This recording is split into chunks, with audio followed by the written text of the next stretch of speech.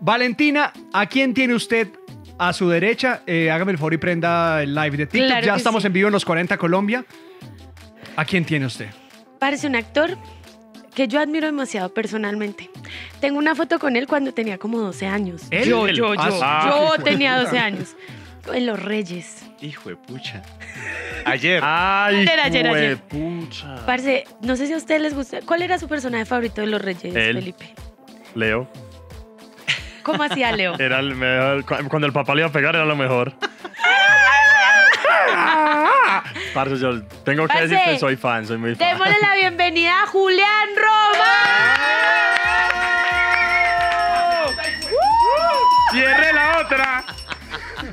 Julián, bienvenido a. Impresentables de los 40. Muchas gracias. Buen día, buen día. ¿Ya estás cansado de que te hablen de los Reyes? No, para nada. Es que eso fue muy importante para mí, y para todos, para todo el elenco. Es que- Claro. Eh, quiero arrancar por, eh, para anotar y para que ellos de una vez, sobre todo Pipe, eh, elimine preguntas. ¿Qué estás cansado que te pregunten? Por favor. No. ¿En qué, ¿En qué se parece tu personaje a ti? Ay, esa es una pregunta esa- suya. Yo la tengo aquí. Aquí la tengo. Se la hizo Verónica Orozco la vez pasada. Aquí la tengo. Aquí No, la es que a veces esa pregunta es rarísima. Entonces, por ejemplo, cuando hice de Carlos Castaño y me preguntaron, ¿en qué se parece su personaje a usted? Fue como, no, a mí no me gusta descuartizar, la verdad. ¿no? Poco. Poco, poco, eso. Las, mo- las motosierras no, conmigo no. Elimi- eliminemos la. de- Sí, no, es que Pipe se haga. ¿Otra? ¿Otra? No, no, no. Por lo general esa es la más, la más recurrente. Ah, que uno bueno. a veces no Ah, entiende. entonces arranquemos. Ah, no, con- entonces arranquemos con una. Eh, ¿Qué le dirías al Julián de hace 20 años? A tu niño. si estuvieras con tu niño de 8 años, ¿qué le dirías? No, pero Eh, ¿qué le diría? ¿Qué le diría? no, te la pregunta en serio, va. ¿Qué le dirías al Julián de hace 20 años? Ah, pensaron que era chiste. Nah, no soy tan bueno. Ah, no sé, que todo bien, que Eso. la está pasando increíble. Que La siga rebuena. así, que siga así, que siga jugando solo, que le, que le está yendo bien. R. ¿Cuántos años tienes? Yo 47. Ya, ya soy grande, yo sé. Yo ¿Qué sé. pasó, Valentina? No, nada. ¿Qué pasó, Valentina? Nada, Esa nada. cara fue rara. ¿Qué pasó? ¿Fue horrible? No, es que te me pareces mucho a alguien. ¿A quién? Pero físicamente. No, nada. Cuente. Oh, cuente. Bueno, ¿cuál? Ah. Vamos con preguntas, no voy a contar mi chimba. Hablando de los reyes, porque a Es mí. que hablando de chimbas, eh, me parece. Pensando en chimba. Valentina. No, no, no, a mí me gustaban mucho Con los calma. reyes. em, y yo fui. Valentina. No, nada. Qué horror. No, no, no. A mí no me hagan chimear en mi programa. que me pongo roja. Aquí no se las ve Carlos Castaño mío, que no le queda a mí. Podemos continuar con esta entrevista. Dale, adelante. Gracias. Bueno. Los Reyes a mí me gustaron mucho. Y yo sí quiero saber, a mí me parece, o sea, hubo como mucho chisme. Y hay un chisme que yo quiero saber si es verdad o no. Es verdad que eh, Enrique Carriazo era pues el protagonista de Los Reyes. Cuando se abre absolutamente todo, así como que, wow, Laisa, la primera, pues como eh, ella es Mujer, trans, sí. mujer, chica trans, Ujú. en novelas, ella ganó mucho protagonismo. Dicen que Enrique Carriazo se había enojado porque supuestamente el protagonista era él. Entonces, ¿qué pasó? Para ponerlo pues como en modo tranquilo, le subieron el sueldo. Eso es un mito urbano. Ya Enrique ganaba increíble. Es como 100 palos, ¿no? No, el- el- Enrique es uno de los mejores actores pagos de Colombia. Lo vale. De verdad. Demasiado. Es un, un monstruo. Pero no, eso es un, es un mito urbano. De hecho, cuando, cuando nosotros empezamos en Los Reyes, el, el susto que había en, en- en todos era qué va a pasar con la aceptación de este personaje. Este es un, este es un país católico apostólico romano, somos muy conservadores y esos temas hace 15 años era muy difícil. O sea, Obvio. un- un- una chica trans en un, en un programa Muy tabú. prime, muy tabú y lo que se hablaba, se enamoraba, to- todo el cuento era como súper complicado y fue muy bien recibida, aunque obviamente habían voces de lo de siempre, le, echan la culpa a la televisión. Yo me acuerdo que algunas discusiones eran padres diciendo, no, ahora nuestros niños se van a volver trans. Yo. Pero ¿cómo? ¿Cómo funciona eso? Es que la televisión no, cuando usted se equivoca y cree que la televisión, sobre todo la comercial, está hecha para educar, el problema es suyo. Claro. La educación es suya en su casa. Usted es el que se tiene que encargar de, de educar, no la televisión. Eso es entretenimiento. Exacto, es entretenimiento y uno decide qué ve y qué no ve. Pero le fue muy bien y Endry creo que, que- que logró romper una cantidad de mitos y de tabús en la televisión y sobre todo demostrar que más allá de su decisión sexual es una gran actriz, Mm. porque lo es. Dentro de Los Reyes hizo varias veces de hombre para varias escenas donde ella tenía que disimularlo. Es impresionante la- el, el- el- el- el rango de actuación que tiene, que tiene Endry, que lo ha tenido siempre. ¿Quién te caía mal ¿Quién me caía mal del elenco, de verdad? del elenco, de verdad? Y por favor no digas Catherine Mira. o sea, A ti sí, ¿cierto? a mí sí. ¿Por qué te caía mal? No, no, no me cae en la vida, no me cae mal en la vida real. Es que nosotras estuvimos en un programa que se llama Survivor. Y de chimba sobrevivió. Y de verdad, uy, en, en televisión me dejaron súper mal. ¿La dejaron mal parada? No a mí, Por eso. Pero ella en, o sea, en la realidad yo la ayudé muchísimo y ella me hizo pistola. O sea, de verdad. Entonces, ¿quién te caía mal aparte de Catherine Mira? No quiero, no quiero redirigir esa respuesta, Julián. Eh, no, mira, ¿sabes qué pasó realmente? No es que nos cayéramos mal, sino que duramos dos años y medio haciendo la novela. Y eso se empezó a volver complicado porque pues ese cuento de se vuelve una familia, pues sí, es que todos los días nos veíamos Claro. todos Ujú. y empezamos a conocernos y empezamos a, uy, ya estas cosas no me gustan, el que llega tarde, el que no estudió el día anterior. Entonces eso generaba roces, pero no era que me cayera mal o, o peleáramos, sino que era como del momento, este llegó tarde, uy, qué presa, no sé qué, pero ya. Pero dime nombres. ¿Quedas contenta, Katherine? No, mentiras. Gracias. No, no, no. No sabía. no, no. Algo todos- me lo decía. todos, todos nos, nos caíamos muy bien. Aparte, nos íbamos de gira. Es que era mucho tiempo todos juntos. Entonces grabábamos de lunes a viernes y los sábados nos íbamos de gira Mm. a cantar en pueblos el mismo combo. Entonces llega un momento en que, que de verdad uno, como un reality. Total. O sea, sí hay roces de convivencia y todo. Claro, obvio. Y, y todos tenemos que, cosas que la gente no aguanta. Y yo soy muy jodido, por ejemplo, con el tema de, de, de la puntualidad, como se pudieron dar cuenta. Yo Uy. siempre llego- Uy, qué Pero, pena. pero- No, frescos, todo Pero bien. Es que Cintia Cosio nos tenía No. aquí, hermano. No, no, no nos soltaba nosotros, por favor. Pero es que, pero es que una, una cosa es ser puntual y otra cosa es no tener nada que hacer en la casa, don Julián. Con todo respeto también. ¿Cómo va a llegar aquí a las 8, don Julián, hermano? Con No. decirle que nosotros siempre le tenemos desayuno al invitado y hoy no alcanzamos. Usted llegó antes. Llegué muy temprano, yo sé. Yo sé. Nosotros, nosotros siempre le... Pero vea, como no pudimos traerle ¿Me va a ligar? para Y que gracias, compre alguito. Claro, 10 ligaron luquitas para que bien. se compre su desayuno. Pero que compra uno con esto hoy en día. Ahí Dos le damos dólares. do- dos dólares le damos ahí, vea. Muy bien, uy, ustedes son muy queridos. Con todo el les pague. Para el desayunito. Tin, para el desayuno. Venga, Julián. Entonces yo, era muy, yo soy muy judío con el tema de la puntualidad y entonces eso a mí, cuando estamos en convivencia tipo reality, que nos volvimos eso, se me volvió un tema. Entonces yo, no era que peleara con todo el mundo, pero sí me, me, me, me- me sobrepasaba que la gente llegara tarde. Eres de genio voladito. Pero en esas cosas, en Ah. esas cosas, porque mi papá me decía que llegar puntual es llegar tarde. Eso ya es llegar tarde. Pues yo llego 10 minutos siempre sin lío, o sea, yo sé que yo llego 10 minutos antes, yo no tengo problema, traigo mi cafecito, sé que me siento, me pongo a molestar con el celular. Pero cuando se pasan las horas ya, o los minutos, el ojo me empieza a hacer así. Pero Pues, pero ¿por qué? Puta. tu papá, que también fue un gran actor, Ajá, estaba equivocado. ¿por qué? Mira que en la aviación le dicen a los pilotos, llegar tarde obviamente es ser impuntual, pero llegar antes también es ser impuntual. Desocupa. Ah, Claro, pero yo no llego a importunar, ojo. Yo no llego a golpear. Yo llegué, me quedé Sí. afuera, me Sí, quedé tampoco. Sano, sano. Cuando ya es la hora, ya empieza uno a mirar. Hola, buenos días. Buenos días. Sí. Y ya. Era Pero no, pero no, yo no llego media hora. O sea, cuando estoy grabando, por ejemplo, que, que- que nos ponen en los, los carros que te recogen en la casa y te llevan, siempre hablo con los conductores y les digo, yo quiero llegar 10 minutos antes. Si quiere, llegamos a la esquina, nos tomamos un cafecito y ya después llegamos a la ocasión. No llego a la ocasión a... Porque a veces llega uno y no han llegado los camiones. Uy, no ha llegado el vestuario. no. Eso, por ejemplo, da mal genio. Venga, Julián, Uy, no. eh, de todos los papeles que usted eh, ha hecho, ¿cuál es el que más problemas le ha traído? Yo creo que el de Carlos Castaño, ese, ese fue muy jodido, muy difícil porque, por lo que hablábamos también de los reyes, como este es un país tan complicado y la gente, afortunadamente, en este país todavía pueden tener opinión, el problema es cómo ejercen su opinión tan visceral. Cuando se hizo la serie, todos teníamos muchas dudas. Yo pregunté, ¿cómo va la serie? ¿De qué va?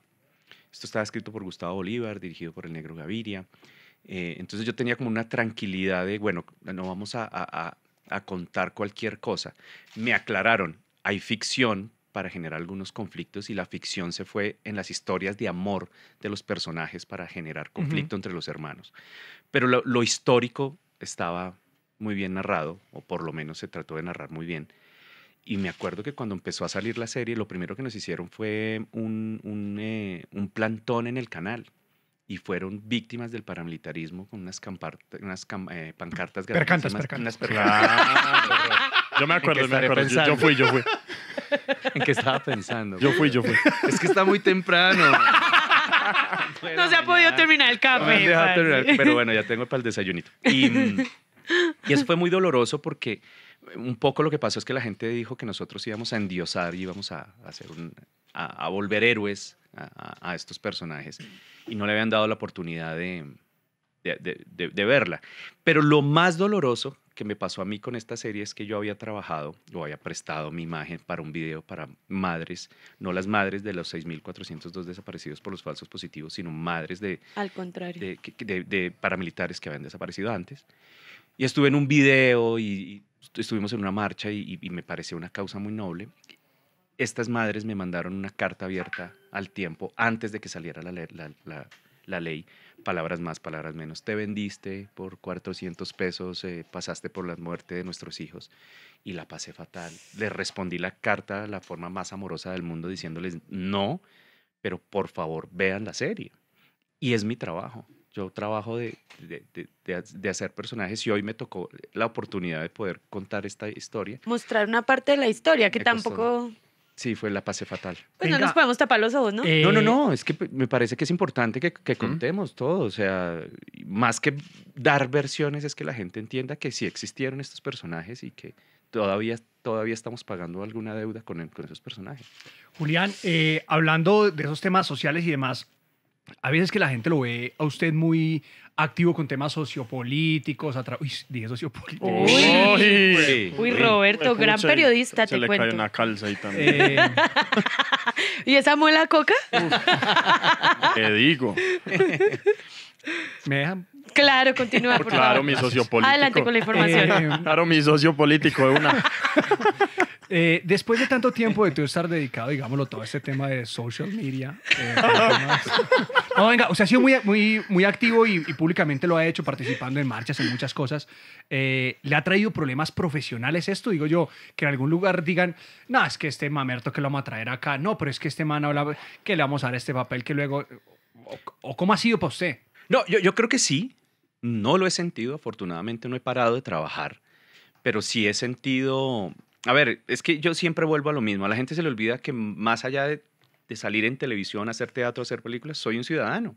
Y tengo todo el derecho de opinar lo que yo quiera.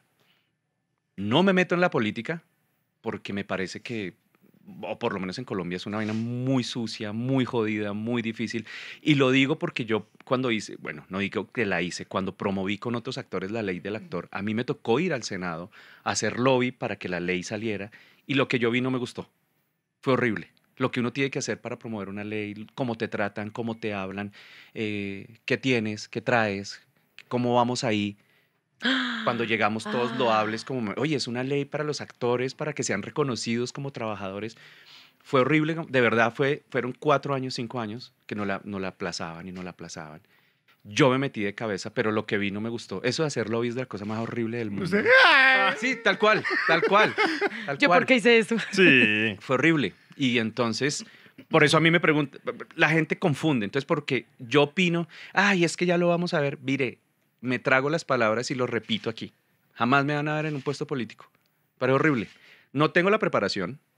Me parece que para estar en un puesto político, por lo menos hay que saber algo de derecho. Jamás estudié derecho. Se acabaron los estadistas y ya cualquiera llega. Yo creo que ese es uno de los problemas de la política y eso fue lo primero que yo vi. Yo dije, marica, hay una gente aquí que nada que ver. Pero ¿Cómo se te ocurre decir eso? Mira, Polo Polo. O sea, ¿cómo así? No, no, no. Perdón, sí, sí, Respeto, Julián. No, hay una Dios. cantidad de gente, los que se gradúan siendo, en- presentan seis exámenes en un día y, y son Ya. abogados y ya. Entonces, eh, eso, eso pues sí, me ha generado, en, sobre todo en redes, problemas. No lo he sentido en el trabajo, lo repito, yo no he parado de trabajar, afortunadamente. Pero, pero sí, sí siento que, que, que en un país tan difícil, tan, tantos años de violencia, no tenemos la forma de dialogar Entonces, eh, en redes es, lo que dicen es horrible. O sea, lo que le escriben a uno es una... Como si yo tuviera la culpa. Entonces, por ejemplo, me echan la culpa. La última discusión que tuve con alguien sobre el tema, me decían, ¿usted se hacer responsable de, de este gobierno? Y es, me hago responsable de mi voto. Pero, ¿qué No, responsable? pero hágase responsable Claro. también. Sí, no. Entonces yo le devuelvo la pregunta al tipo, que eh, evidentemente era de otro pensamiento, y le dije, ¿usted se va a hacer responsable de las 6.402 muertes de los falsos positivos? Uy, Julián, Uy, pero- pero... Pero si vamos a hablar de ese tipo de... respons- O sea, ¿de qué Sí, estamos sí, es hablando? verdad, es verdad, es verdad. Uno se hace responsable de su voto y tiene que ser consciente de lo que está haciendo. Pero, a la- repito y vuelvo al principio, a la gente se le olvida que yo también soy un ciudadano, yo voto, yo pago impuestos y tengo todo el derecho a opinar. Y la gente debería respetarme mi opinión y no deberíamos matarnos. Les digo aquí, tengo grandes amigos que opinan, opinan dif- completamente diferente a mí, pero el polo opuesto. Y almuerzo con ellos, nos reímos, me dan su información yo, y, nos, y podemos convivir. En redes parece que no. En redes quieren es que uno se vaya al país. Lo que te desean es, ojalá no le den trabajo. Entonces, por ejemplo, uno pone, oye, vayan a la obra tal.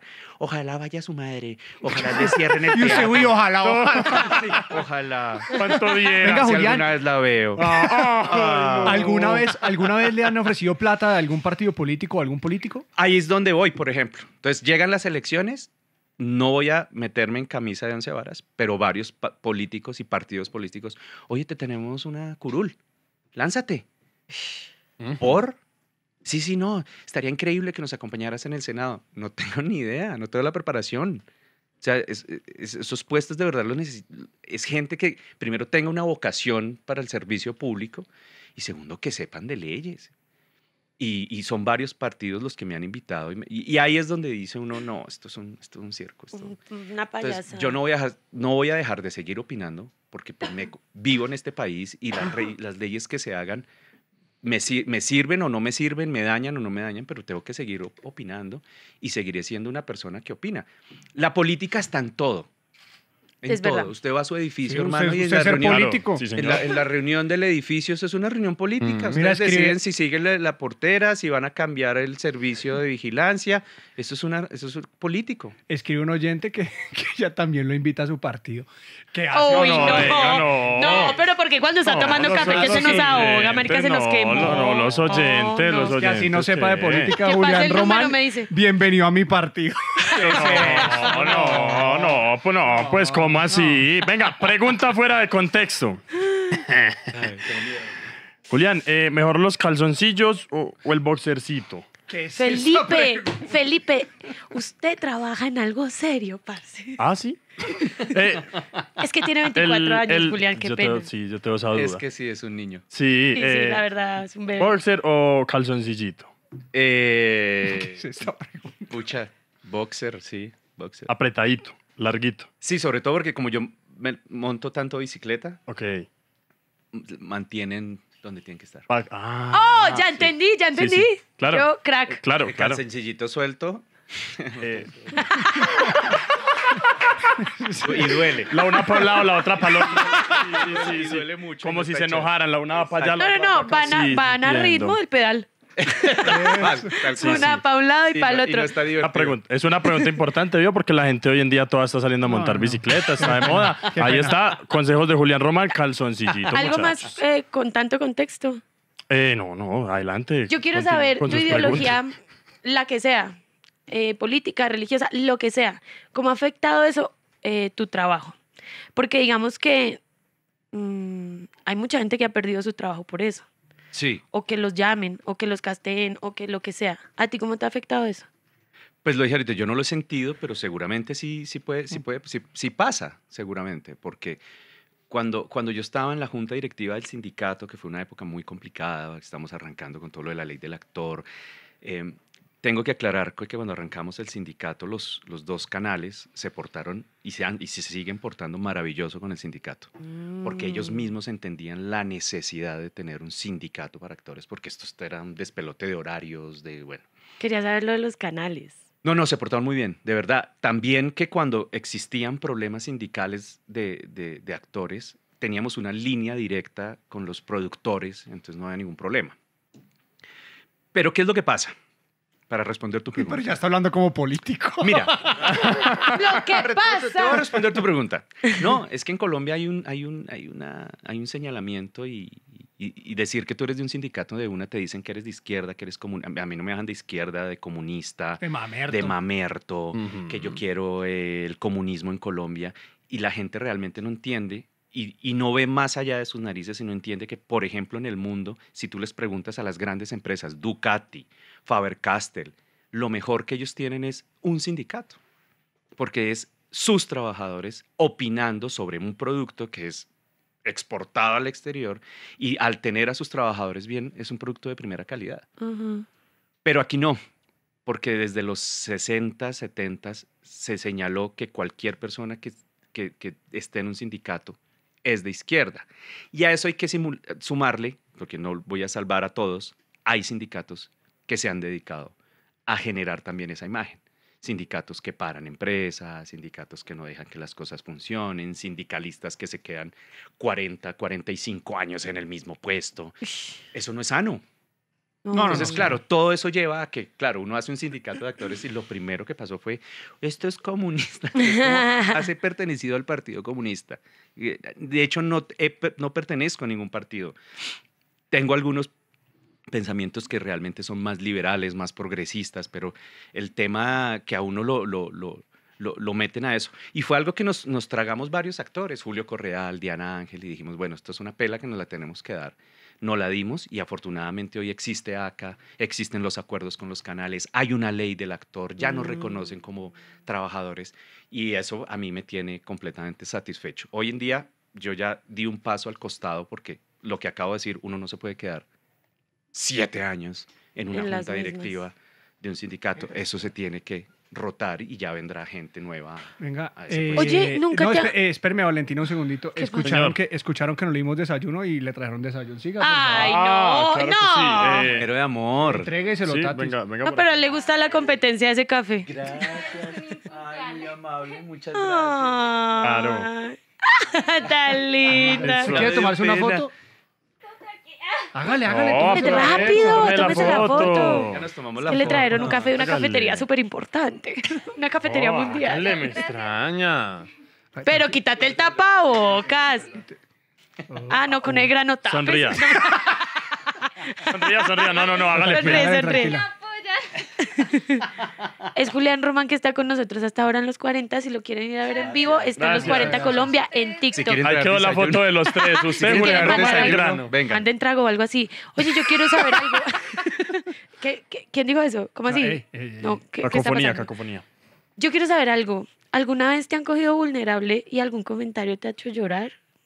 ¿De verdad que te haya dolido? Sí, sí, sí. eh, Por, por- por temas de política, sobre todo, una senadora, cuando mi papá estaba muy enfermo, mi papá tuvo un problema con la EPS, lo de siempre, Sí. le daban la cita. Mi papá con cáncer y, sí, la- tu próxima quimio es en un año y medio. Y es como, no, se va a morir. Ah, dale. Em, Julio Sánchez se enteró y tuvo la amabilidad de llamarme al aire y exponer el caso y cuando terminó la entrevista le dije, me duele mucho que por tener esta posibilidad de ser famoso yo pueda hacer esto, pero ¿cuánta gente le está pasando esto en este país? Ah. Y una senadora escribió Julián Romani, el canceroso de su papá, ¿no? una Uy. vaina ¡Ay, tan de no! quinto, tan y tan... que yo dije, estoy exponiendo a mi viejo Ay, por cosas mías. Por amor. pero- y por amor y por pensar diferente a esa señora. Eh, después se burló de, quiero ver al papá de canceroso en la moto Harley que tiene llevándolo a las eh, quimioterapias, de, un- de una bajeza. Y eso me, me, me, me cuestionó mucho, me dolió mucho y después entendí, claro, eso es lo que quieren Que te duela. que me duela, que responda. Afortunadamente no respondí, pues porque ¿qué respondes a No, eso? no, Eso no, hay nada. que Chao, responder. chao. Pero afortunadamente entendí que, que ese es el juego de ellos y lo interesante es no caer en el juego de ellos y al no responder, pues no, no siguió el hilo de, de estas peleas eh, que no llevan a nada, Claro. realmente, porque pues no tiene ninguna justificación. Julián, hablando de, de su... Es que me puse sentimental. Vas a decir lo mismo que yo. no, no, no, no. ¿Qué iba a no, decir? Seguro no. No van a chillar hoy, Eh, por favor. Julián, eh, no, no, no. No, no, no. no. Cuando usted, cuando usted piensa en su infancia, eh, ¿qué imagen y qué momento se le viene a la cabeza? Uy, tengo muchos. Yo, yo yo me acuerdo de Fontibón, cuando yo viví en Fontibón, Fontibón todavía era un pueblo, todavía no estaba adscrito a Bogotá. Entonces era Invasión. pueblo, era un- más o menos, pues era pueblo, pueblo. De hecho, Ajá. Fontibón tiene plaza, plaza, Sí, sí, de- sí. es divino ese- esa plaza. Entonces mis recuerdos son, eh, eh, eh, yo no sé por qué tengo tan presente eso y la- se burlan mucho de mí, es cuando llegó el acueducto a al barrio, cuando rompieron la calle y empezaron a meter el acueducto, eso fue un evento, se hizo asado, todos los vecinos afuera viendo los camiones, opinando de los tubos, claro, eso es de cuántas pulgadas, oh, eso es una maravilla. Eh, como que todos esos recuerdos de, de Fontibón son maravillosos. Mi papá atrás ensayando con su grupo de teatro, eh, viendo a todos esos actores cambiándose, haciendo Medea, haciendo Chejo, no, era maravilloso. Oiga, ahora, ahora que hablamos eh, de, de cosas pues que lo ponen a uno sentimental. Mm, Calzoncillos. Vi un videito. No, no, no, no, pero, no, pero casi. No, pero casi. Vi un videito por aquí y se me ocurrió una pregunta. Eh, te... Bueno, esto, esto sonaba mejor en mi mente, la verdad. Eh, te, te Tengo miedo. ¿Te gustan los videos para adultos? Me gustan los videos, son, a veces son divertidos. De hecho, tuve hace mucho tiempo en un, en un trabajo que, de una obra de teatro, ver mucho contenido, eh, porque uno, yo pensaba que el porno era X, tal cual. Literal. triple X. Pero hay, o sea, hay, hay unos súper elaborados, hay unos que tienen una cantidad visual impresionante. Y, por ejemplo, me empecé a enterar de una cosa, escúchese esto, usted sabe quién escogió durante muchos años los formatos VHS, Blu-ray y todos esos formatos? ¿Quién? La industria del porno. Ah. Porque era más vista, ni siquiera el cine. Entonces, cuando la, la- la industria porno esco- escogió el Blu-ray, de ahí todo el mundo salió a comprar y hacer el Blu-ray, porque existía otro que era, ¿se acuerda que era un disco grandote? Sí, sí, sí. Ese no le gustó a la industria del porno, se fueron al más pequeño, se fueron al Blu-ray, por eso funcionó. Es la industria más grande, es la que más vende. ¿Y, y te gusta más el, el caserito o el Oye. profesional? Ay, No, es ahí, ya, ya. Venga, eh, llegó usted a alquilar, eh, yo nunca pude. ¿Qué? Eh, cuando cerraron las tiendas de alquiler de películas, siempre quise Claro. saber qué había al otro lado de la cortina de las de las de Ah, no, me da pena. No, es que eso es una boleta. ¿Qué? Ay. Qué oso. Pero entró, entró. No, No, no, no alcancé, no, no, yo me hacía loco. Necesito alguien que me diga. Oye, Julián, preguntan por acá en TikTok, en arroba los 40 Colombia. mm, ¿Qué? Se me fue. ¿Que ¿Cuál es tu tipo de mujer? En realidad lo pregunta mi jefe. ¿Quién ¿Qué? sabe, ¿quién sabe qué le está ¿Cómo- interesando al man? ¿Cómo así? ¿Quién es tu jefe? Nombre. Sebastián. Chevy, Chevy. Uy, ya me asusté. No, no. Oye, te... ¡Ih! ¿Qué? No, nada, Oye. no, dale, continúa, contesta. Ay, es el más pícaro ese Julián. Ay, ay, tenaz. Mírala, mírala. Y Valentín Se que, vistió. "Uh, tenaz, Se vistió, se vistió. tenaz. No, es que te me pareces a alguien. ¡Ah! Aquí no me voy hasta saber quién es. Eso, lo- eso lo saca, esa información la sacamos. Me da pena, No, me, me da calor, me da calor. Eh, no, pues es que no. O sea, ¿en, en qué? ¿En físico Sí, o personal? En todo porque tú has estado con muchas mujeres de la farándula colombiana. Pero bueno, ah, volvamos al tema. Todo el mundo, no, que O sea, qué es. Jorge Cárdenas y usted. El- usted es el nuevo chichi de oro de Colombia. Qué cosa tan horrible. Envidiable, envidiable. Uy, qué cosa ¿Tu tan horrible. ¡Ah! el chichi de Jorge Cárdenas. No lo conozco. Eh, em, pues es que cuando uno está trabajando en esto y, y- y- y, les repito lo que hacíamos, todo el tiempo estábamos con, o sea, no teníamos a veces vida social, empieza uno pues a relacionarse con la gente que trabaja y la gente que trabaja en televisión, pues eh, no la mayoría, pero mucha gente es pues muy guapa. Y pues empieza uno a, Gracias. Sí, televisión. Eh, empieza uno a, pues a salir con, con la gente que trabaja. Y realmente yo solo he tenido una novia que no trabaja en- o no trabajaba en televisión, era una abogada, y se aburrió a los seis meses. Es muy Claro. difícil, muy difícil, muy jodido entender todo el tema. ¿Con cuál terminaste mal? De verdad mal. No, con ninguna, te lo juro que no. No, mal no, con ninguna. O sea, cero tóxicas. Cero. ¿Tú eres Cero. tóxico? La verdad. No, yo creo que de, mí, de mí se aburren porque como no soy celoso y pareciera que no me importara, de verdad es como... Valentina es una tía en una peluquería. güey. Sí, ya lo vi. Yo soy re chismosa. o, sea, o sea, tú no dices nada. Si llega, si no llega, eh, Pero es que me parece... Sí, es que tengo otro concepto de las relaciones realmente. Como, ¿cuál? Pues es que no sé cómo explicarlo, como, como ¿qué, qué saco yo revisándote el celular y haciéndome mala vida o pues, saliste, no saliste, con quién estás? Pues, No, tú tienes tu vida, yo tengo mi vida. Si quieres estar conmigo, el, el putas, y si no, pues, pues no estamos. Y eso se malinterpreta como, ah, no le interesan, porque entonces ahí vamos, a- vamos al tema de que la gente, es, es que él es celoso y me adora, y ella es celosa y me ama, es que ella sí, ella sí me re- revisa el celular. Le y eso es- importo. y, es- y eso no es importar. ¿Cuánto Julián, llevas con tu última novia? Espérese. Oh, qué pena. Vamos, Roberto. Siete Sí, de años. todas maneras. ¿Siete años? Siete ¿Ustedes años tienen ya. hijos? No. No, no, no tenemos. Ni van a tener. No sabemos. ¿Se están casados? Pues prácticamente. prácticamente. ¿Cuánto valió el anillo? ¿Era diamante? Que quien paga el agua no le falta. No. todo. Acaban matrimonios de 40 años.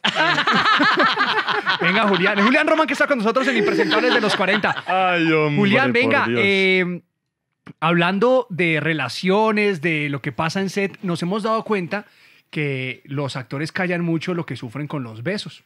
Eh, En esta semana tuvimos a, Verónica Orozco, Diana Ángel nos acompañó en estos días, otra eh, gran actriz colombiana. Eh, recordamos mucho la historia de Andrés Parra que le empujaron un dulce en un beso. Eh, Diana Ángel dice que le tocó pedir a alguien que se lavara la jeta porque le olía a uchuvas.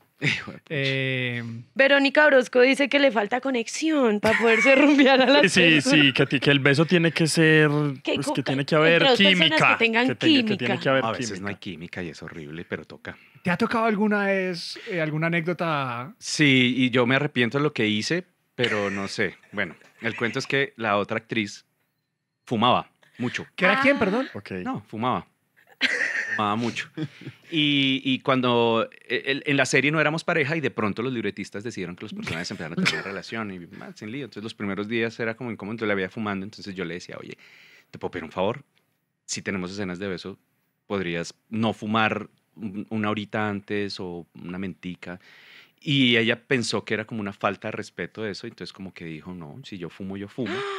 Y la tercera vez ya, pues no, es que no es chévere cuando no fumas además. Entonces me llevé una cebolla. La masqué, Uy, la masqué, nos dimos el beso y la cara de la nena fue como, ¿qué? Le dije, yo siento lo mismo con tu cigarrillo. Entonces, pues, si quieres, jugamos a eso. Tú fumas yo como cebolla.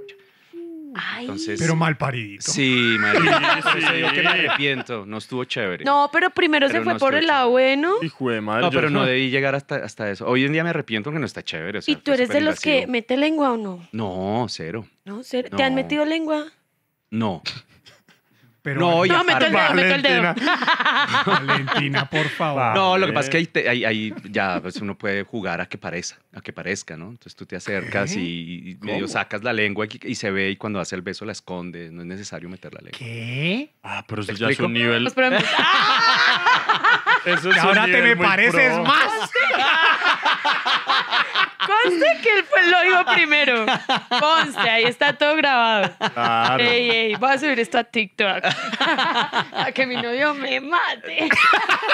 Acabando relaciones desde Sí. 1986. Fracturando, te, te digo. ¿Has Se acabado- acaban. ¿Has acabado alguna relación? Jamás, no, jamás. No, pero de pronto, pues no lo digo intencionalmente que te has metido con alguien, pero no le has traído problema a alguien por alguna No, escena. creo por que no, no. No, la, la novia que les conté que era abogada la pasaba fatal porque yo estaba haciendo una novela, no me acuerdo qué novela era. creo No la juzgo, yo sería igual. Ceci creo que se llamaba, no me acuerdo. Y en la, y en la, y en, y en la novela, pues todo el tiempo estaba dándome besos con Manuela González, que era la protagonista.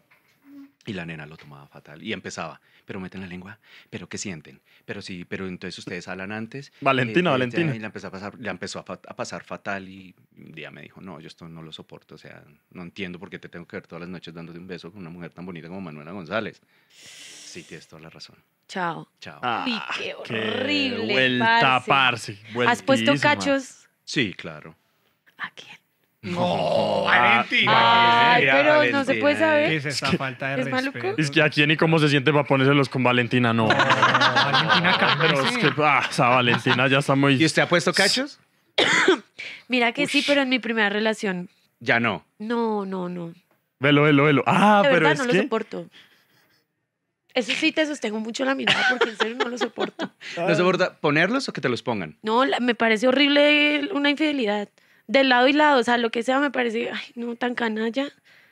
Y, Claro, y sufrí depende, tanto sí, que no. De acuerdo. de acuerdo. Por eso te digo, las relaciones tienen que ser... Cuando las relaciones son tan, tan cuidadas en lo que no hay que cuidar, yo creo que pasan esas cosas. Sí, es verdad. Cuando tú eres más relajado es como... Llega un momento en que de verdad te voy a poner los cachos o puedo pensar fríamente y decir, entonces no quiero estar aquí. Y Sí, no pasa verdad. Porque pues mm, no es un contrato a término indefin- indefinido. o sea. Es verdad. Venga, ya saliendo ya del chisme de peluquería. ¿Por qué? Eh, y lo estamos hablando ahorita fuera, fuera de micrófono, Julián. Julián Roman, que está con nosotros en Impresentables. Eh, hay mucho revuelo por estos días con todo el tema de Griselda, la producción que se estrenó hace algunos días. Eh, y usted que ha participado en muchas producciones, ¿qué opina usted de esa crítica que- hay a las narconovelas? Que porque no deberíamos como país tener narconovelas, que no representa el poder de evolucionar del colombiano, de su resiliencia. ¿Qué opina usted de eso? La televisión, el cine y el teatro viven de lo que se cuenta y el material nos lo da donde estamos. Es como haberle dicho a Chekhov, uy, Chekhov, qué mamera, hablando de la burguesía rusa en 1800, o sea, respeta, o sea, que pues es que Ujú. escribía de lo que veía y se burlaba y hacía una crítica social de lo que pasaba. Por eso el pedido de mano, por eso el daño que hace el tabaco, por eso todas esas obras que, que tiene Chekhov eh, porque tienen un contexto. A mí me parece muy chistoso que algún político nos diga y nos eche la culpa o le eche la culpa a uno, cuando la política y la sociedad se han encargado de darnos esos materiales. Griselda no es un invento, Pablo Escobar no es un invento, Carlos Castaño no es un invento. Cuando hicimos las muñecas de la mafia, no, no, no, no, son historias reales de mujeres que vivían con narcos y es, y- y- y es una sociedad narco. ¿Cuál es el tema? Nosotros no podemos dejar de contar las historias que están pasando. Pues es que es nuestra, nuestra realidad. Es nuestra realidad. Así como se cuenta Rigo. Rigo es nuestra realidad. Totalmente. Entonces, ¿qué decimos? No, no cuenten esas historias porque es que no van a volver a salir ciclistas buenos después. No, Oiga. todo lo contrario. Entonces, me parece injusto que critiquen cosas que, no- que- que- que nos dan el material. Me, me- me voy más atrás. Crónica de una muerte anunciada de Gabriel. García Márquez. Total. Esa es la historia de Colombia. Un man que van a matar, todo el mundo sabe y nadie dice nada. Entonces Gabo no puede contar esa historia, es una historia real. Gabo la cuenta de una historia con otros nombres, nombres ficticios, pero es una historia real. De hecho, hace unos años murió la verdadera Ángela Vicario eh, y jamás dijo quién fue la persona que, con, el, con la que perdió la virginidad y, se desató toda esta tragedia de Santiago Nazar. Pero entonces eh, me parece muy, muy ridículo. O sea, es como también eh, en Alemania hace 6, 7 años un actor hicieron la biografía de Hitler. Entonces es, eso es eh, una bandera al nazismo. No. Y al actor no lo bajaban, sobre todo en, en- en nuestros países, eh, haciéndole apología a Hitler. No, no, es, una, es un personaje histórico, hay que contarlo. Sí. Hay que contarlo. punto. Oiga, eh, usted- Valentina, ya, yo ya pregúntele quiero a saber. Valentina que Mira, entendió la lo que verdad, acabo de decir y le va a verdad, decir que la nada. Verdad, la verdad. Yo te vi en las entrevistas de otra emisora aquí al lado. Ajá. Y desde esa entrevista y que nos dijeron que ibas a venir, eh, dije, parce, se parece mucho a un man con el que yo salí, Oh, yeah. pero físicamente. Ah, ok. Ah, novio tuyo.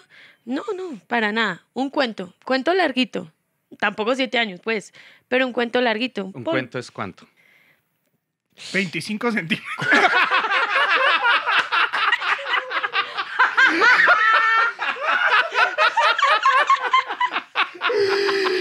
No, no, no. Lo ¿Cómo? miró en el orinal y era tremenda belleza. Una Oh. cuarta y tres dedos y sin contar la cabeza. horror! Uy, prendan el aire. Sí, no, me dio calor, me dio calor. ¡Qué, qué calor! Me escribe mi novio. Mal momento, mapa papito. En lo que estamos, en lo que estamos. Usted no estaba en un curso de canotaje en el Simón Bolívar. Si nos concentramos, juliamos todos. si nos organizamos. coordinemos, coordinemos. Ya. Año y medio, año y medio saliendo y yo decía, es, es igualito. El tipo también es muy inteligente, pero era muy tóxico y no éramos nada. Pero qué polvazo. Valentina, Mi por novio favor. hoy, feliz. Feliz. No, vale. Un abrazo gigante Eh, para tu novio, Se llama Rommel. Hola, Rommel. Dios Rommel. Me va a odiar. Ese es No, el hermano más no. tranquilo del mundo. Mentira, es que ese no. ¿Qué? No, es ¿Eh? lo más hermoso que hay. Ah, sí, 25. Ah. Venga, Julián, eh, ahorita también estábamos hablando de la, del nivel de producción cuando Uy. uno ve estas grandes series. Eh, cuando usted ve esas series tipo Griselda, que Miami es Miami, Miami. no es eh, Girardot. no es Paraíso Hotel Estudios del señor Gustavo Bolívar. Girardot, Girardot, Eh, literal. sí. Sí, sí. Eh, que en Nueva York es Nueva York. ¿Qué le ha tocado vivir en medio de todo eso que usted dice, uy, ¿cómo llegamos acá? Sí, no, es que, es que mm, aquí empezamos a hacer muchas cosas, muchas eh, narcoseries.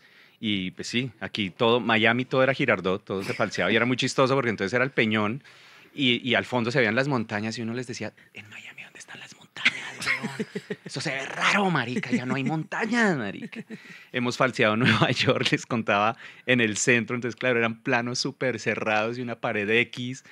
Eh, los- Que decía la- Samper presidente. Yo. Tornillo 777. no. Eso Feliz no es- Navidad y próspero año 2020. Sí, no. que somos una plaga, igual Es que- podemos llegar hasta allá. Claro, claro. No, esas- es- y se nota, se nota, se nota. Es que se nota cuando lo de Griselda se ve que la producción es fantástica. Si no estoy mal, son seis, siete capítulos. Y esos son presupuestos, no sé, ahorita no tengo ni idea, pero esos son millones de dólares por capítulo, son un elenco impresionante. Uno ve ahí a Christian Tapan, eh, bueno, hay un elenco así grande, grande, y, y uno, uno en el fondo dice, "Uy, qué rico poder estar en una producción de, de- de ese nivel donde realmente uno graba donde es. Cuando hicimos lo de Nueva York, que les cuento que lo falseamos aquí, tuvimos la posibilidad, o sea, no, sí fuimos a Nueva York a grabar, pero era, fue así cinco días, eh, 20 26 horas, al día grabando, los permisos eran eh, carísimos y nos quedaron muchas escenas colgadas porque era imposible cumplir el plan y tuvimos que falsear acá. Yo imagino que en una producción así debe ser como, no, eh, una escena al día en Nueva York, tenemos tres semanas para hacer esta secuencia. ¡Qué delicia! Breve. Breve, qué rico. Oye, dicen en TikTok que si cantas Pilarica, Yo cobraba por eso, ¿eh? ¿Sí? Yo cobraba, claro. Yo pero nos vas a cobrar más de lo que nos estás cobrando No, pero por que lo va a venir. poner a cantar. Vea, vea, No, no, le acabo de dar dos dólares. Dos no, dólares, parce, no, todo el está. mundo está que cante Pilarica, que cante No, Pilarica. no, no, no, es que va- les va a sonar raro. Primero, no me acuerdo, porque no la hago hace mucho tiempo. Qué decepción. Yo sé, yo sé. Es como cuando me dicen, hable como Juan Gabriel. Yo ni me acuerdo cómo era. Eso fue, lo hice tantas veces que era como, me acuerdo que era nasal y la colocación era diferente, el acento, todo. A uno se le olvida dejar de hacerlas. Y me pasa mucho, por ejemplo, cuando hago teatro, esta obra que estamos haciendo ahora la hicimos hace un año y cuando volvimos hace un mes a ensayar, no me acordaba de nada. O sea, era como, aquí qué hacía, qué... Porque, les explico, porque no es excusa, un día un neurólogo me dijo que la memoria del actor es como un cassette que se va borrando para no, no guardar tanta información. Se reescribe. Claro, porque imagínese usted guardar todas las escenas que ha hecho en una novela, por ejemplo. ¿no? O sea, se enloquece uno con toda esa información. ¿Y si te pongo un karaoke? No, hombre. Venga, eh, ¿alguna vez lo ha cogido con eh, ese personaje que usted hizo en Los Reyes que fue bastante popular? Eh, yo creo que mucha gente quedó enamorada de ese personaje. Sí, es muy bonito. Eh, ¿Tiene algún recuerdo en particular de alguien que lo haya cogido en la calle? Ay, mi niño le puse Leo por usted. O le algo así particularmente que usted recuerde que le trajo esa producción. Eh, me acuerdo una fiesta, como nosotros nos la pasábamos en eventos, nos invitaron a, una, a un Halloween en Cali. Entonces eh, fuimos, era como un- un- en, en un barrio y tarima y cantaban los reyes. Vimos muchos niños disfrazados de Leo Reyes y eso me, me partió el corazón. Pero tú, joven, no, eres no eras tan bonito. ¿Ya era muy feito? Sí. Sí. Por eso no me salía tanto No trabajo. eres... Los vinos son los que añejos son los chimbas. Sí. Y, Sí, lo- y las momias también. Oh, valen más. bueno, Valen no sé. más. No son más chimas, pero sí valen más. Se valorizan, se valorizan. Vamos con preguntas impresentables. Uy, Ok. ¿qué es esto? Que Dios Sin nos coja pensar mucho lo confesados. primero que se te venga a la cabeza. Ok. De redes sociales, porque sé que las consumes, ¿cuál es tu creador de contenido o influencer o quién así favorito? ¿A quién? Es que hay muchos que me gustan. Eh, ay, juepucha, ya me pusiste en un, en, un, en un dilema. Yo solo tengo Instagram y mm, Facebook, pues que- porque es de mi generación, y X.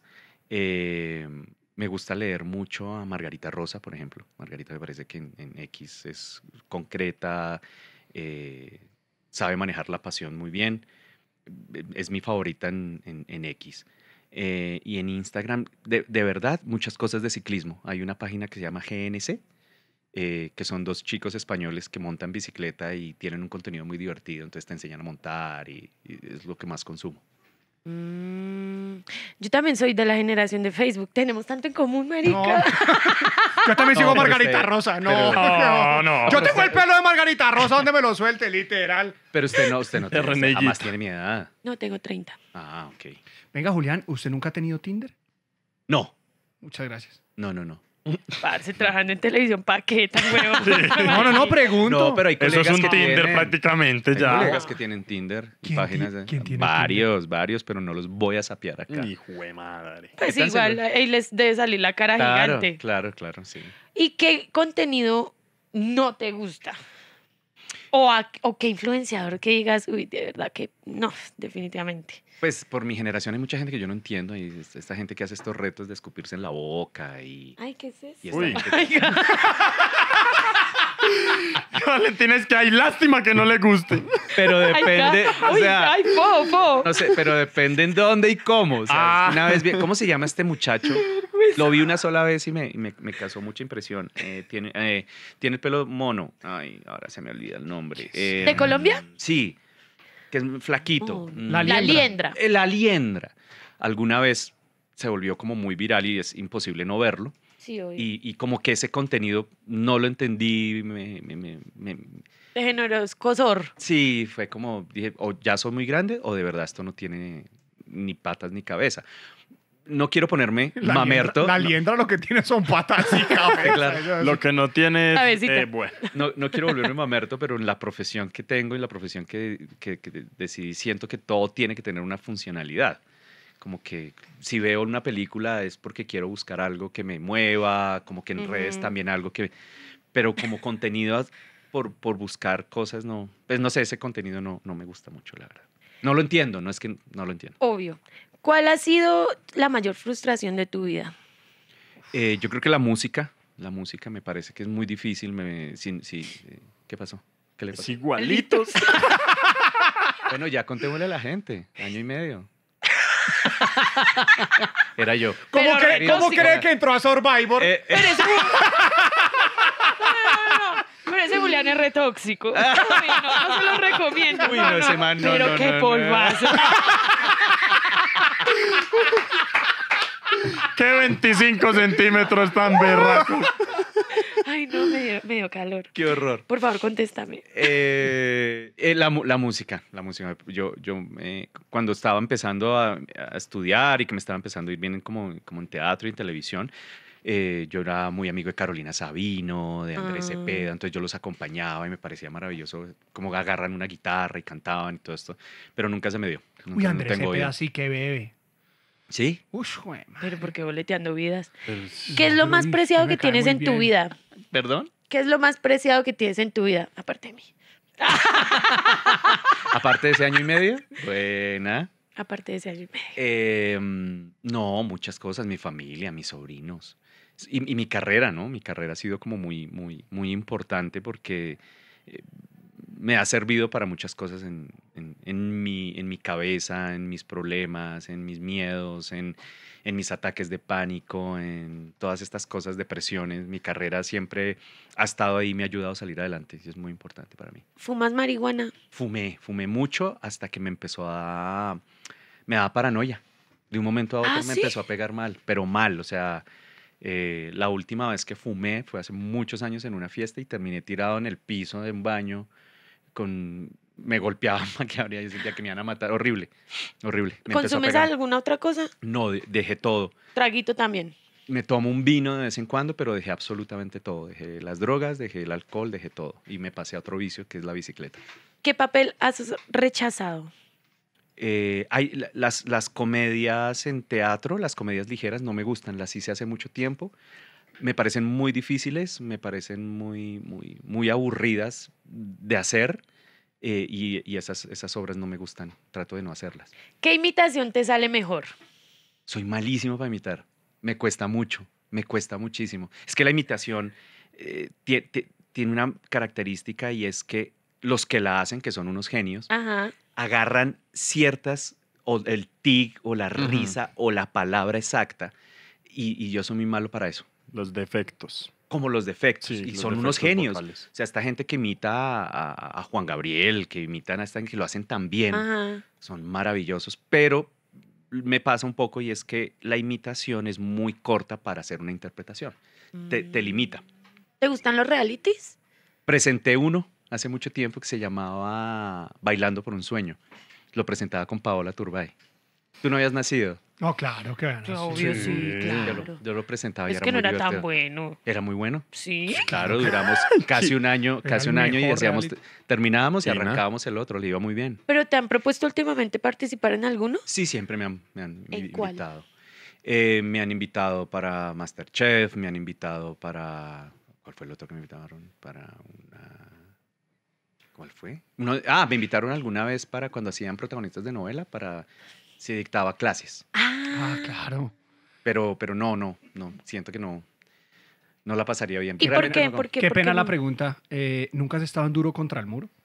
Duro. No, Es que uno se ve muy feo forrado en esas contra el muro. no, no, no. Pero condón. Juli, te puedo decir Juli, ¿cierto? Por favor, después de año y medio, marica, no me puede decir Julio. Entonces, amor. ¿Con quién es tu sueño grabar? Uy, hay muchos, muchos. ¿Quién es? Ricardo Darín, por ejemplo. Hay envidio a Andrés Parra, por ejemplo, que Andrés ha trabajado ya varias veces con, con Ricardo Darín y sé que son muy buenos amigos y, y envidia de, de la buena, ¿no? Que, que- Obvio. qué delicia poder trabajar con un actor de ese tamaño. Ese fue el que hizo para los ignorantes El secreto de sus ojos, El una de sus secreto de sus producciones más famosas. No, es un actor así. Y, y- y en Madrid tuve la oportunidad, estuve muy cerca de poderlo ver en teatro, pero cuando yo terminé mm, de trabajar, él terminó temporada y no lo pude ver. Ese es otro pendiente, poderlo ver en teatro. Me hubiera gustado. Él es un... Para Oh. mí me gustaría mucho trabajar con él. Comediante colombiano favorito. Comediante. Uy, hay muchos. Ah, Hay uno que me, que me encanta, que es eh, Hassan. Eh, Hassan, eh, Hassan, Hassan. Estoy de Hassan. acuerdo Hassan. contigo. No, no, Hassan. ¿Hassan? Hassan. Uy, esto hace poquito sí es un hit. Perdón. Sí, Es es, un es una máquina. Los Es una máquina. Perdón, pero los chistes de Hassan. Es una máquina. es una máquina, me encanta, me divertidísimo. ¿Y sabes quiénes me están gustando mucho y que me caen muy bien? Estos chicos de Fox News. Fox News. Bueno, te invitamos a que vas el especial de fin de año de Impresentables, que se llama Se nos juntó el ganado, Impresentables y Fox News.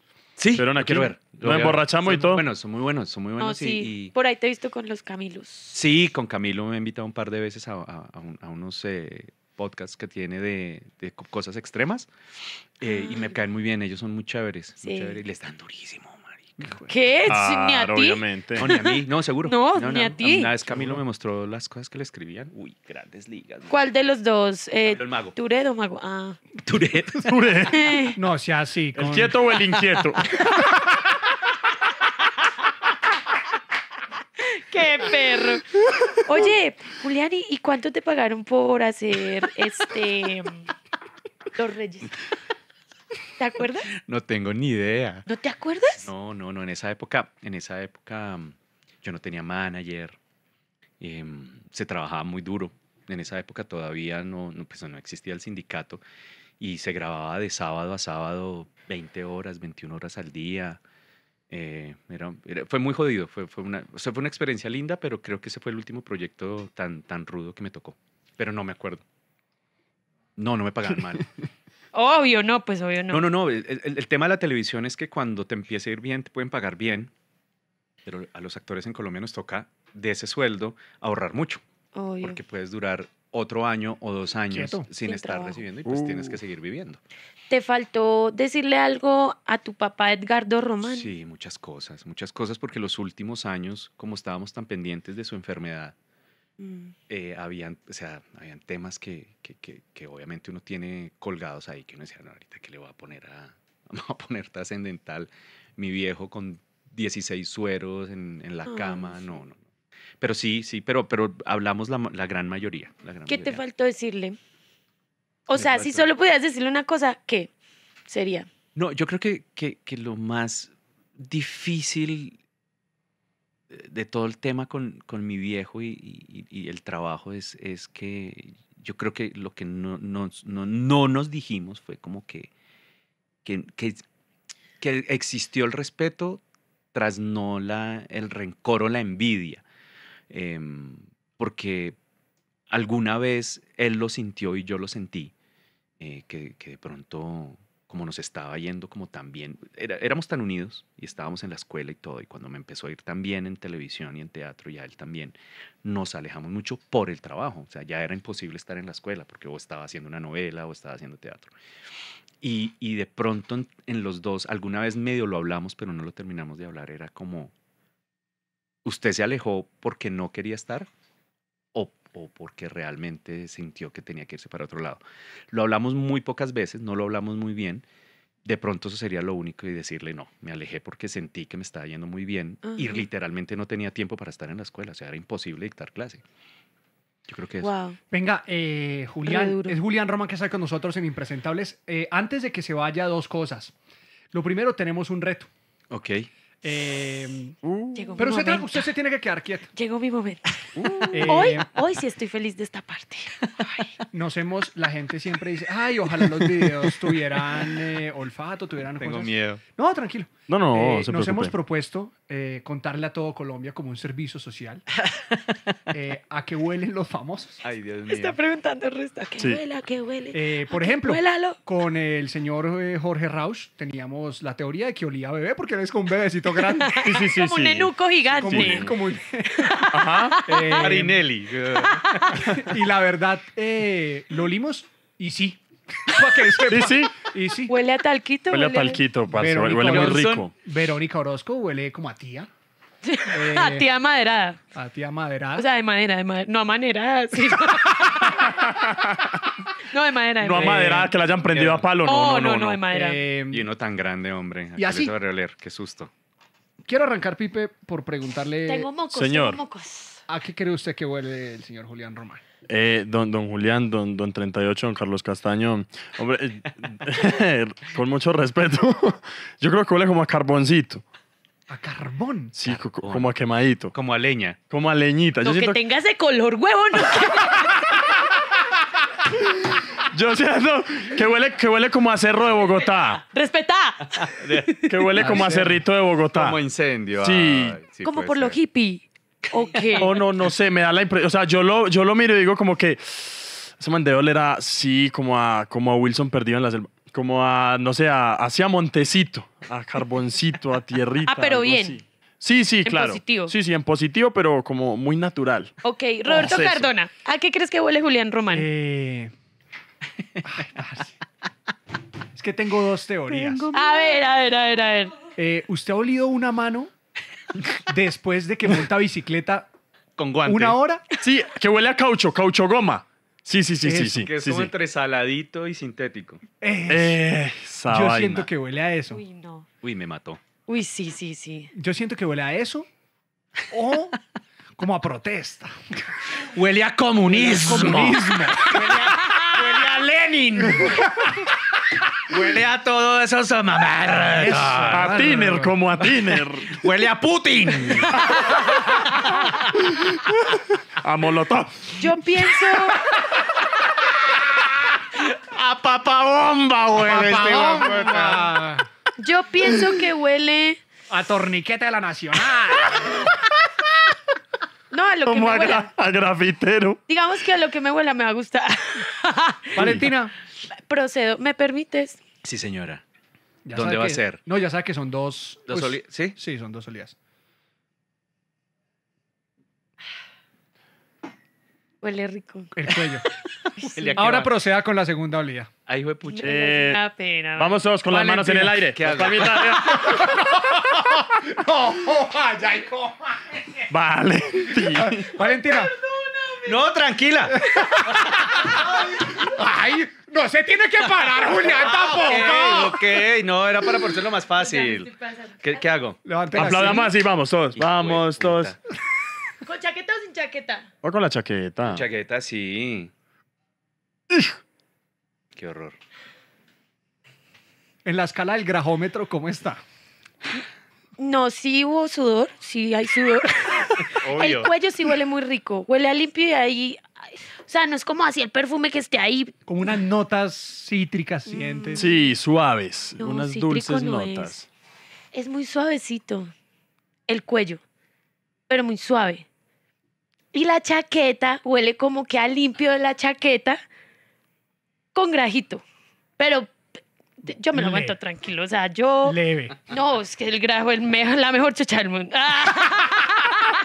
Es Julián Román, que están impresentables de los 40. Pipe, tropa, Julián, antes de que se Claro, vaya, obviamente hombre. trova para Julián y que Julián responda. Yo de que me va a responder. Hombre. Obvio, soy sí. Malísimo. Una troita. Hombre. Esto dice así. yo lo baño. Hágale uno usted yo lo primero. baño, yo lo baño. Oiga. Si usted no huele a tamal, ni a pan ni a gomitas, hombre, no comprendo por qué Valen hoy está que se lo come. Por favor. Ahí, ahí está el ejemplo, una respuesta rápida. Gracias. Es Julián Román en Impresentables de los 40. Julián anda ahorita camellando en, eh, en, en teatro y en una producción suya en Max, que ahora se llama así. Sí, sí, eh, le- eh, estoy en el Teatro Petra. eh, Ah, lo suyo.